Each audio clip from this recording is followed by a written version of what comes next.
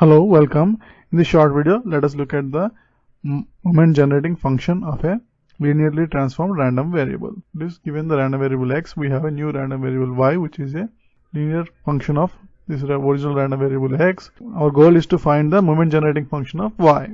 That is, we want to find phi y of s, which is by definition equal to expectation of e power s into y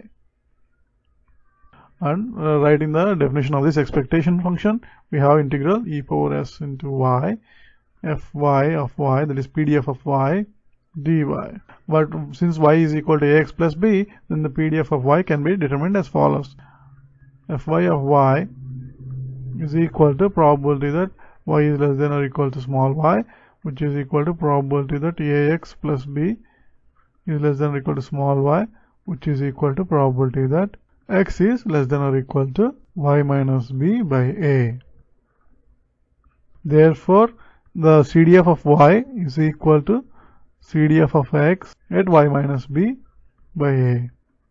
Therefore, the PDF of y is basically derivative of this CDF which is 1 by a fx of y minus b by a. Now by inserting this result in the uh, definition of the MGF of the new random variable y, we have phi y of s is equal to integral e power s into y uh, 1 by a fx of y minus b by a dy.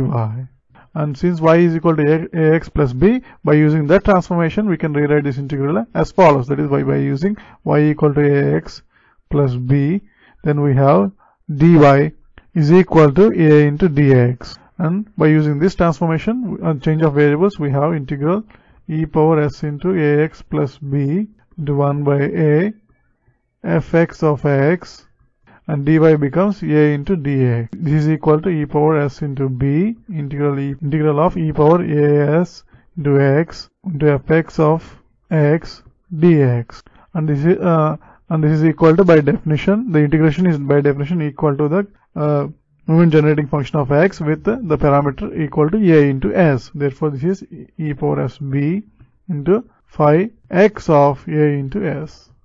Therefore, the moment generating function of the random variable y, which is which is a linear transformation of the random variable x, is given by the product of e power s b into the moment generating function of x at a into s. Thanks for watching.